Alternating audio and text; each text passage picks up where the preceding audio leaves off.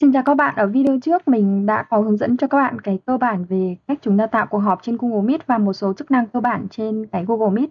À, và ừ, video trước mình sử dụng bằng Gmail cá nhân và trong video này mình sẽ sử dụng bằng Gmail bằng tổ chức uh, trong cái tổ chức của mình ta học là trường học và mình sẽ tạo cái lịch cuộc họp trước hoặc là lịch buổi học trước à, để đến khi nào mà đến cái thời điểm đó là chúng ta chỉ cần nhấn vào đường link là chúng ta họp rồi mà không cần phải thao tác gì nữa. Rồi, bây giờ chúng ta sẽ nhấn vào phần New Meeting và chúng ta sẽ chọn cái tùy chọn số 3 là tạo Google Meet trong cái lịch. Rồi, bây giờ các bạn sẽ nhìn thấy cái giao diện mà chúng ta tạo lịch như thế này. À, đầu tiên mình sẽ quan san quan tâm đến cái phần đầu tiên là cái tiêu đề. Ở đây giả sử mình sẽ đặt tên là môn toán, mình lấy ví dụ thôi nha. Rồi, ở phần khung bên dưới thì mình sẽ thiết lập về thời gian bắt đầu cũng như là thời gian kết thúc.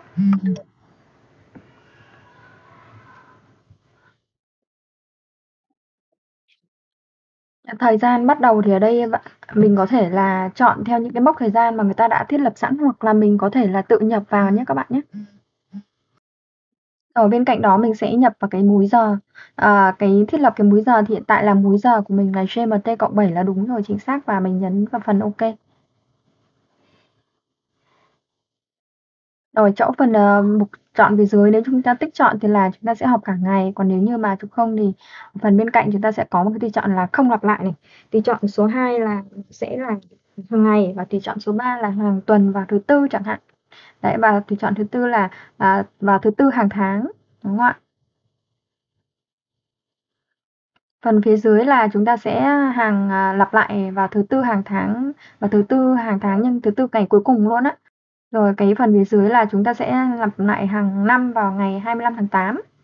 Tiếp theo là tùy chọn vào à, lặp lại vào mọi ngày từ thứ hai cho đến thứ sáu. À, nếu như chúng ta dạy cái môn này, mình dạy cái môn này là vào ngày thứ tư và thứ sáu chẳng hạn, thì khi đó các bạn sẽ nhấn vào phần cái phần à, à, tùy chỉnh. Chúng ta nhấn vào phần custom tùy chỉnh này. Đến đây mình sẽ dạy là hai buổi đúng không ạ? hai buổi trên một tuần thì mình sẽ chọn đây là hai này. Sau đó mình chọn thứ tư và mình tích vào thứ sáu. Rồi chúng ta ở dưới chúng ta sẽ chọn cái thời gian kết thúc. Kết thúc ở đây thì mình sẽ ừ, chọn là à, không bao giờ là never này hoặc là chúng ta sẽ chọn một mốc thời gian nào đó. Hoặc là chúng ta sẽ chọn là số lần đúng không ạ? Số lần của buổi học á. Ờ, rồi tiếp theo chúng ta sẽ để ý đến cái, sau khi thiết lập về thời gian rồi chúng ta sẽ quan tâm đến cái phần bên dưới. Ở phần bên dưới này khi mà chúng ta tạo lịch á, thì nó sẽ tự động ờ, cho chúng ta một cái đường link join vào Google Meet này. Các bạn sẽ nhìn thấy cái đường link ở phía bên dưới không ạ? Đấy, bạn có thể copy cái đường link này. Bạn dán sang một cái file nào đó nhớ tạm để chúng ta nhớ. Và đây chính là cái đường link để chúng ta vào vào vào cái Google Meet của buổi học này này và các cái thông tin liên quan ở bên cạnh. Rồi, sau đó chúng ta sẽ tu cái phần dưới là phần location, tức là vị trí, các bạn có thể thêm vào vị trí trong cái phần này nhé. Và hiện tại mình sẽ để trống. Rồi, dưới là cái phần thông báo. Và thông báo thì ở đây nó sẽ có một cái thông báo nhắc nhở cái việc học ừ, trước 10 phút chẳng hạn. Chúng ta có thông báo này. Hoặc là mình có thể áp add thêm cái thông báo là mình sẽ gửi à, à, nhắc nhở qua email nữa đi. Đấy. Trước 10 phút này. Rồi, ờ, mình, ờ, ở dưới là hai cái tùy chọn về cái phần lịch thôi, mình mình sẽ bỏ qua cái phần đó, nó nó cũng không có gì là là đáng, a, lưu ý cả. Rồi cái phần ở phía dưới thì chúng ta sẽ có thể là viết những cái phần, à, ghi chú thông tin thêm về nội dung cuộc họp. Ví dụ như là chúng ta có thể viết về nội dung hoặc là, à, thêm những cái đường dẫn môn học, ừm, trước để cho các em học sinh biết. Chúng ta có thể là đính kèm tài liệu vào đây này, chúng ta có thể đính kèm vào cái đường đường link này, đó. Chúng ta tiếp theo chúng ta sẽ đến với cái phần là nhập cái danh sách, à, những người tham gia.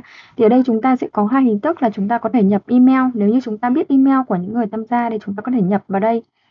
À, hoặc là chúng ta nãy chúng ta có đường link á, chúng ta có thể dán qua kênh thông tin Zalo hoặc là Facebook. Nhưng mà một lợi thế khi mà chúng ta nhập địa chỉ email vào đây á, thì những người nào mà được nhận cái đường link bằng hình thức email thì người ta trên email của người ta nó sẽ có một cái thông báo, đúng không ạ? Ừm, có thông báo bằng email, ờ, rồi trên cái Google Meet của người ta cũng cập nhật ngay những cái, ờ, lịch của của buổi học, hoặc là trên Google Lịch của người ta cũng cập nhật những cái lịch học nếu như nó có thay có có sự thay đổi các bạn ạ. Còn nếu như mà cái số lượng mà nó nhiều quá thì các bạn có thể gửi bằng cách đường link và chúng ta dán gửi cho mọi người qua các kênh thông tin như là Zalo hoặc là Facebook. Đây giả sử mình sẽ chọn, chọn một cái người danh sách này như này để lát nữa mình minh họa cái việc mà người ta nhận email như thế nào cho các bạn thấy nha. Như vậy thì những người khách này nó sẽ có quyền gì ạ? vẫn có quyền tham gia vào lớp uh, và tham gia cuộc họp bình thường nhưng có quyền được chỉnh sửa về thời gian không? Hiện tại mặc định mình để không này. Có quyền chỉnh sửa về cái danh sách khách mà à, có quyền mời thêm bạn không? Mình không cho phép mời thêm bạn. Và có quyền được xem danh sách khách mời không? Mình có đúng không ạ? Rồi sau đó là mình sẽ kiểm tra toàn bộ lại các cái nội dung thông tin mà mình đã à, về thời gian rồi những cái thông tin khác. Sau đó mình à, sẽ nhấn vào mục save để chúng ta lưu lại và chúng ta gửi cái à, cái lịch này đi. Đó chúng ta sẽ có một cái thông báo là bạn có muốn uh, gửi cái email này cho cái những cái người khách đúng không ạ? Thêm vào cái Google lịch của những người khách này không? Thì bạn sẽ nhấn vào vật send ờ, chúng ta sẽ có một cái thông báo là à, cái tài khoản này là nằm ngoài tổ chức của bạn ấy, thì bạn có chắc chắn là muốn muốn gửi không? Thì mình sẽ nhấn vào việc xác nhận là mình có mình muốn gửi hết. Rồi khi này các bạn sẽ nhìn thấy trên cái lịch của mình á, cái lịch mà người mình đóng vai trò là chủ mình đang tạo cuộc họp ấy, trên lịch của mình nó sẽ có à, có hai cái cái mốc thời gian này. Như chính là vì mình vừa tạo là thứ tư và um, thứ sáu đấy là môn toán và diễn ra vào cái thời điểm này chúng ta có thể làm sao ạ chúng ta có thể nhìn thấy nhấn vào đây chúng ta có thể nhìn thấy các cái thông tin về cuộc họp này đấy Chúng ta có thể nhấn phần Edit để chúng ta chỉnh sửa. Sau khi mà các bạn chỉnh sửa xong thì chúng ta nhận sẽ nhấn vào mục xây và chúng ta sẽ bên cạnh đó chúng ta sẽ có các cái hành động khác như là in này, xóa này. Đấy. Thì khi mà chúng ta cập nhật lịch, chúng ta sửa thì tất cả những cái người mà trong danh sách khách mời người ta cũng sẽ nhận được cái lịch uh, thông thay đổi thông tin về lịch như vậy nhá. Trên cái lịch của những cái người khách được mời á, thì được gửi, ờ, qua email thì cũng đều hiển thị lịch như thế này các bạn nhé Rồi bây giờ quay trở lại với việc là khi mà chúng ta tạo lịch xong thì các bạn sẽ nhìn thấy chúng ta không cần phải, ờ, vào đâu nữa, chúng ta sẽ nhìn thấy trực tiếp cái cuộc họp của trong cái ngày hôm nay. Đấy, ví dụ 8:25 phút môn toán này chúng ta nhìn thấy luôn. Và một lưu ý ở đây á, à, trong cái phần danh sách này nó chỉ hiển thị danh sách, à, những cái cuộc họp hoặc là buổi họp nó hiển thị ra đúng vào cái ngày hôm đó thôi các bạn nhé đúng vào cái ngày hôm nay thôi nhé các bạn nhé còn nếu như mà những cái uh, lịch của ngày hôm sau thì nó đến hôm sau nó mới hiện rồi à, sao quay trở lại với cái người khách mà người ta nhận được cái email ấy, thì đây chính là cái email mà người ta nhận được này. Thì nó có dạng như thế này các bạn nhé. Ở trên có các cái thông tin ở dưới nó sẽ cũng có cái đường link để chúng ta vào cuộc họp. Rồi bây giờ mình sẽ nhấn trực tiếp vào cái đường link cuộc họp này để mình tham gia vào cuộc họp này.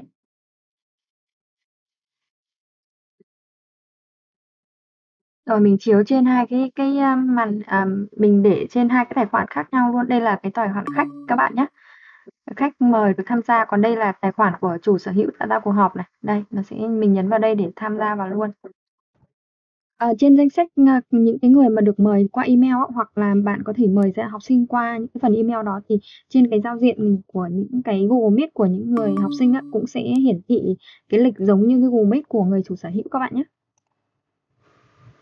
ngồi đóng vai trò là một học sinh à, vào cái đường, vào cái buổi học và một cái à, bằng cái đường link mà mà được gửi qua Zalo chẳng hạn, thì mình sẽ dán cái đường link vào đây, sau đó nhấn vào yêu cầu tham gia. Ở bên này mình sẽ à, chủ sở hữu sẽ đồng ý. Các bạn sẽ thấy hiện tại là có ba người đang tham gia vào trong cuộc họp đấy ạ.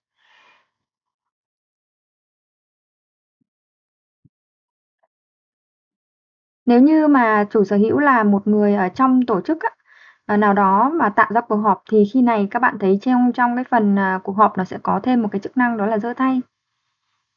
Đấy. Ai cần phát biểu thì giơ tay.